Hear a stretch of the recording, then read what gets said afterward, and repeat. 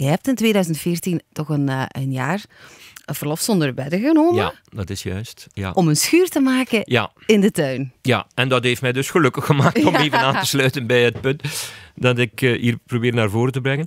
Ja, ik, uh, ik, ik ga dat kort misschien even toelichten. Het is zo dat mijn vader was overleden, vrij plots.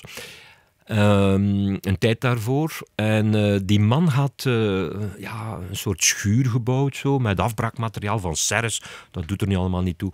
Maar hij was dus met pensioen en, en dit was zijn, voor een deel de zin van zijn leven. En hij was daar al dagen zo wel aan het, aan het bricoleren, moet ik eigenlijk zeggen. Zo. Hij deed dat allemaal zelf zo.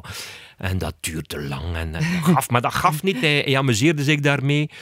Um, hij vond dat een uitdaging om, om, om, een zware balk in zijn eentje met een katrol die hij zelf fabriceerde zo, op de juiste plek te krijgen. Zo. Dat kon dan een week duren, maar dat gaf niet. Uh, dat, dat, dat hield hem bezig op een zeer positieve manier. Hè. Ja. En mijn moeder was ook blij dat hij daar niet constant uh, naast haar in de zetel zat, terwijl zij naar, naar haar televisieseries keek. Dus, dus dat, was, dat was goed voor iedereen.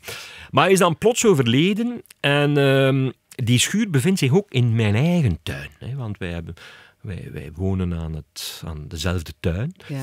En uh, dan sta je voor het probleem, wat doe je daarmee? Dat was, laten we zeggen, zo half af. Je kunt dat niet afbreken. Je kunt niet zeggen, ja bon, weet je wat, ik laat wel een bulldozer komen of zo en we breken dat helemaal af. En we, we zaaien daar gras over of zo. Want emotioneel gesproken, dat was mijn vader zijn, zijn ding. Mm -hmm. Zijn levenswerk van de laatste tien jaar van zijn leven. Dus dat ging niet.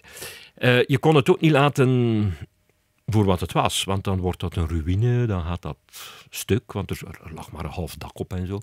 Dus eigenlijk had ik maar één optie, dat was om dat zelf te gaan afwerken. En eigenlijk is dat nu net zoiets typisch, zo'n project dat je gelukkig kan maken, waar je zin mee kunt geven aan je leven. En het kwam voor mij ook wel goed uit, omdat de job op de universiteit, ik zit daar ook al vrij lang in, uh, ik had gewoon ook zelf nood aan, aan eens iets anders. En ik heb dan maar een jaar verlof zonder wedden genomen.